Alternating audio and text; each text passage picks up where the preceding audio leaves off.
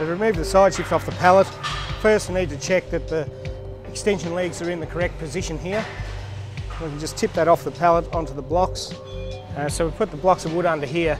We're aiming to get this reasonably level. Doesn't have to be spot on, but somewhere near it is good. And we'll also remove this top link cylinder for now. And just put that aside for the moment. All right, we're going to install the Y-frame into the uh, side shift. So for start, we'll get rid of the uh, extension arms.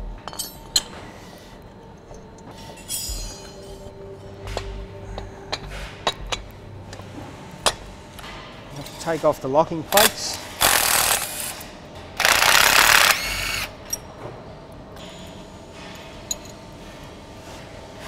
And need to remove the shear pin out of here. Okay.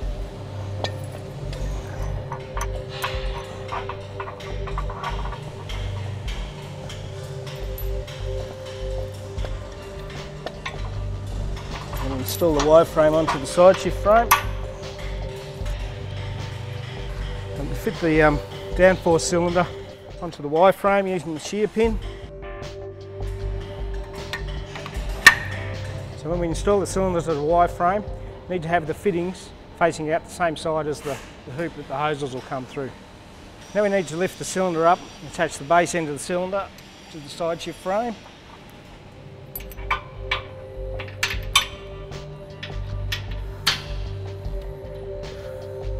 Should be able to move the downforce frame downwards. And we need to remove these lower link pins.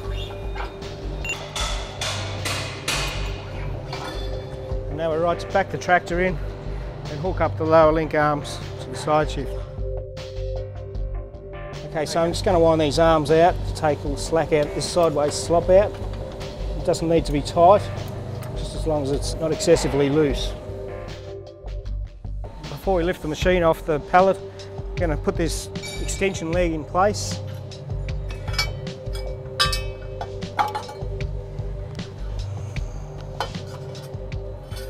We need to set that down to the lowest hole possible. All right, so now we need to move, remove the digger so when we lift the machine up, this doesn't hit the ground and get damaged. So we undo the catch, let the digger swing free.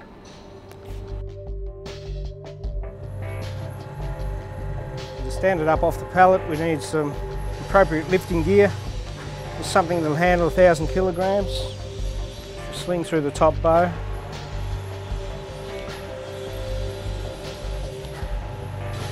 Support this side of the machine. That'll stop it smashing onto the ground while you're lifting.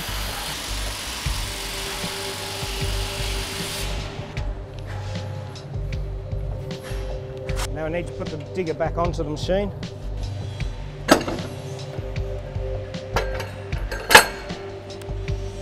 Lock it back into the carriage.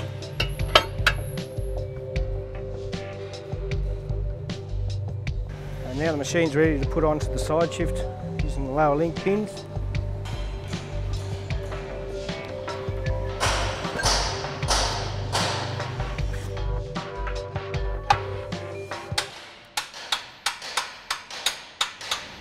Alright, so it's important that we use the bottom hole here in the carry beam to attach it to the side shift frame.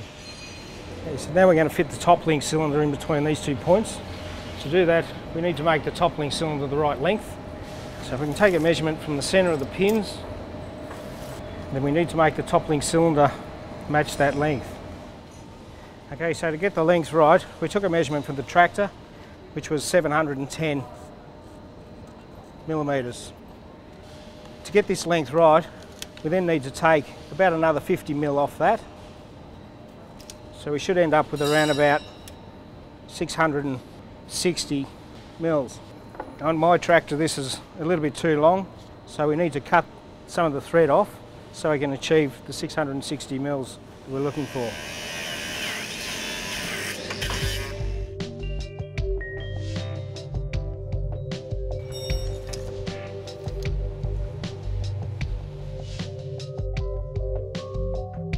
So now we'll fit the top link to the side shift.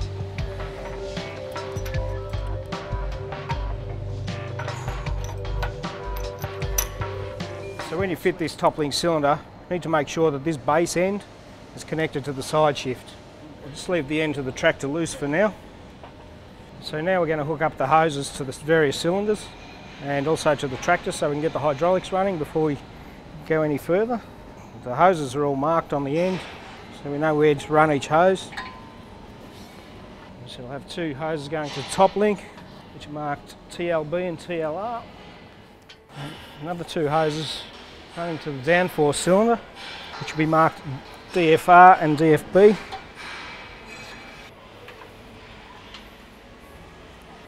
And another set of the small hoses which will go to the side shift cylinder. Okay, so we've just brought these hoses down through here. The shorter one of the two, which has markings on it, SSB. So SSB will be fitted to the cylinder base. Just tighten the hoses up so they sit in a nice position. The longer hose, which is marked SSR, will be fitted onto the SSR fitting, which is side shift rod end of the cylinder. Then need to nylon tie the hoses together to keep them nice and tidy. Keep them up off the ground so they can't get snagged on anything.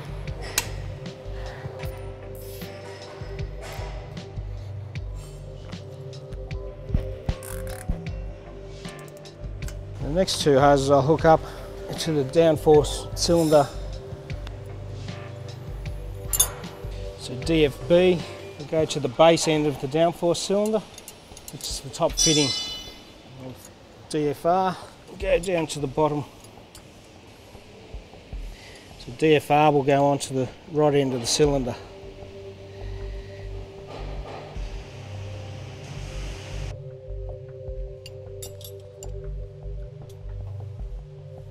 The next two hoses we have for the top link cylinder.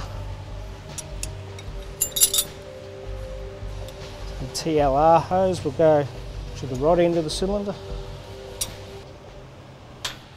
The hose mark TLB go to the fitting mark TLB which is on the base end of the cylinder.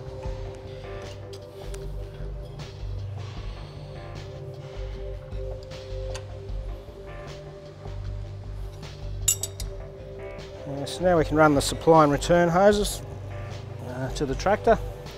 The supply hose is one at the top of the valve bank which has a label here to say supply. Need to be certain that we plug that into a supply port on the tractor.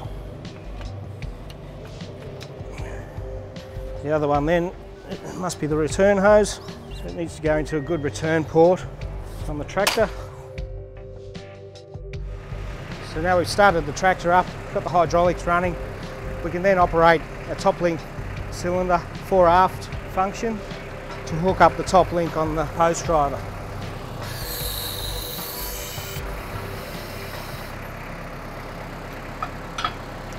I need to hook that into the second hole from the bottom. Fore aft control, bleed any air out of the cylinder.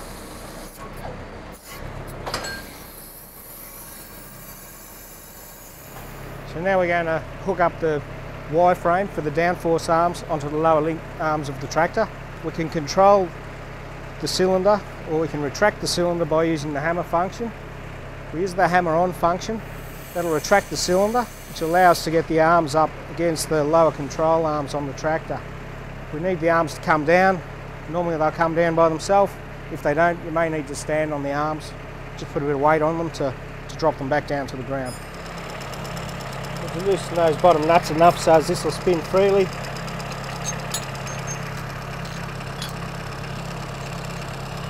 And install the arms into the Y-frame. By using that hammer on function, we can pull the Y-frame up against these arms. Okay, so we need to get the bolt through the hole that's lowest to this, so this takes out any free play. Then need to set this Y up as a Y frame.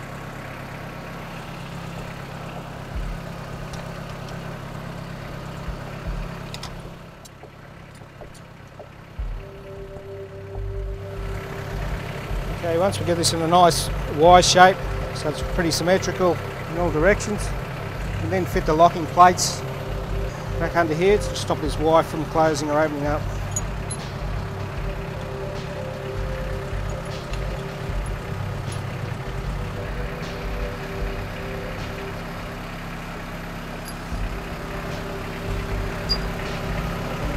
So now we can connect the top link up to the top hole. Very important goes into the highest hole possible on the tractor. We can use the hydraulic functions to uh, control the length of this cylinder. So if we use the hammer on function, that will extend the cylinder. If we use the side shift function, that will retract the cylinder. We can take the lifting gear off the top of the machine. Uh, we'll reset these handles into a position that's going to be more comfortable to operate.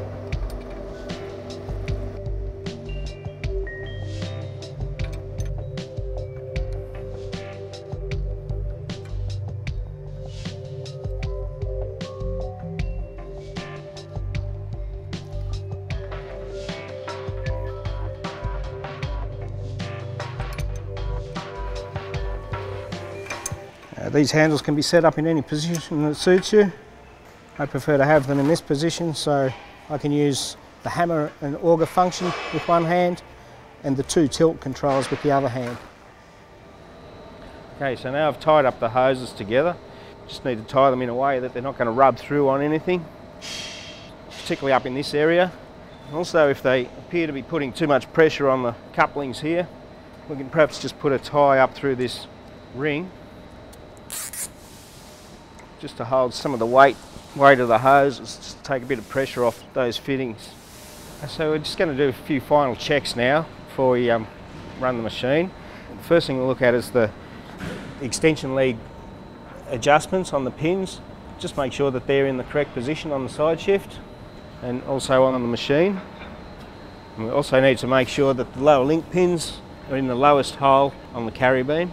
And now I can start the tractor up, uh, get the hydraulics running and then use a function, maybe the fore aft tilt, just to make sure there's oil flowing through the machine.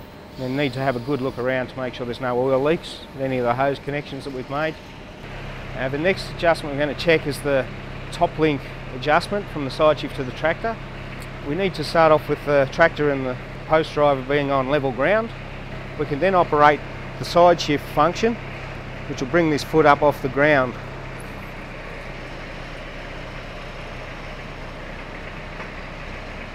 You can operate that in either direction. That'll keep the foot up off the ground. To bring the foot back onto the ground, we'll now use the hammer function on. With any further movement of that, should actually try and push the foot down onto the ground. We need to adjust the amount that that lifts off the ground so as we get a, a good balance between the machine being pushed on the ground and the machine being lifted off the ground to side shift. We use the side shift function to bring it up to its maximum height. And we need around about two or so inches off the ground. So with the adjustment, uh, the foot needs to come down slightly. So we're going to have to extend the uh, top link ram to get that foot to drop down where it should be. If we drop the machine back on the ground, we can take the load off the top link which will allow us to pull the pin out and make the adjustment on the rod end.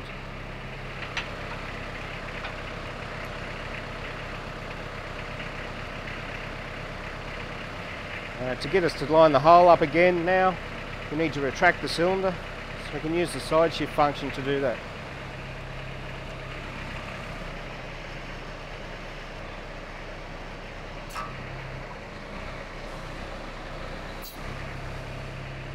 So that adjustment's pretty good where we've got it now.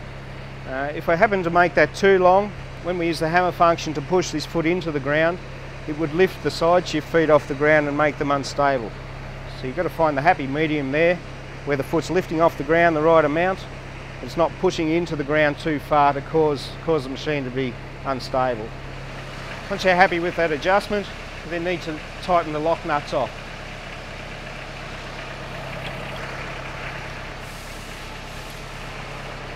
Just make sure that the cylinder can still move freely. And because we're moving the machine out to the left hand side of the tractor, that can also cause a bit of instability with all the weight hanging out that side.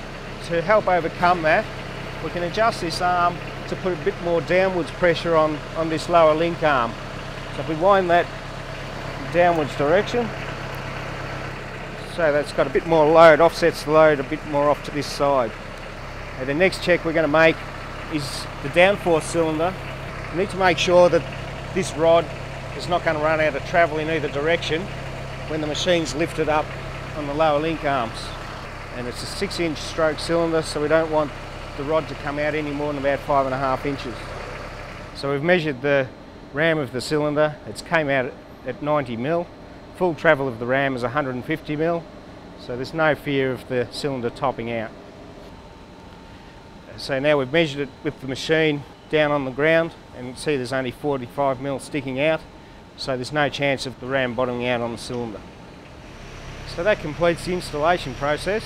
Before we can move the tractor we need to put the machine in a position that's, that's safe and stable to transport the machine on the back of the tractor.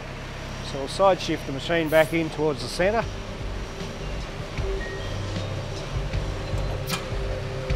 We'll also use the fore aft tilt bring the machine as far back as possible. And we can also side tilt the machine towards the tractor